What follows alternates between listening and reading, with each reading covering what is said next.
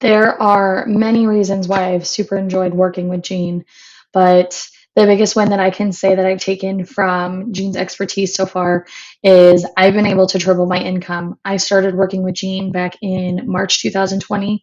It is now August 2020, and I have tripled my income and I have a lot more room for growth.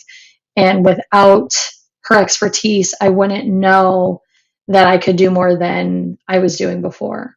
Um, the thing that I took strategically away that Jean has taught me is how to put on a one day event. A one day event has been super crucial in me generating new leads for my business, for getting in touch with my ideal client of small business owners that need to know better of what's going on with their finances and by having a one day event and having a teaching tool for small business owners, I'm able to put myself out there in front of them and be shown as an expert. And that's something that Jean taught me. Without her, I wouldn't have that consistent ability to get in front of the people. The next thing that she taught me was you have to pick up the phone. I was scared to death of being able to get out in front of business owners, to talk to them, to ask them questions, to get to know them.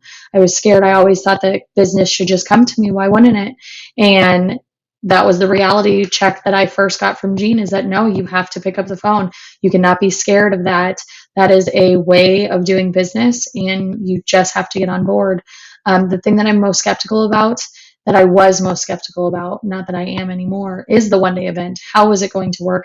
What kind of effort was I going to have to put in? Where was it going to be worth my time? And so now that I have done it and I know it works, and I saw it from the very first time I did it, this wasn't something that took me doing it multiple times to get good at because I'm an expert in my field.